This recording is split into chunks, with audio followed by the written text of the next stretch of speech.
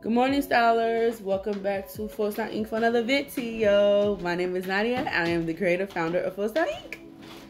So today we are going to do we today we're going to my mom's graduation. We are out here in the burbs, y'all. We're in the burbs. And instead of just going to a mirror, there's a mirror in my room and somebody's in the bathroom. Um, going out to my mom's graduation. She's graduating from grad school. All of my siblings are here. I will show you you guys them later. I will show them to you guys later when everyone is dressed. um, we are getting ready. Mom just left. She had to be there a little early because you know she's the graduate and so we have a bit time. So i'm not going to be talking much in this video. I did want to come in and do an intro but we're just going to do a simple get ready with me. I'm not feeling best today. I'm not feeling well today and we all know why. Mm-hmm. Little you you. So i'm just going to get ready. I'm going to semi beat my face make myself look absolutely drop dead gorgeous and then we're gonna put on some clothes. I was going to try to play around with the different style variations of what I want to wear today, but I don't think I'm gonna have time for that because uh, time is taken away. Veronica, uh, can you can you come open this?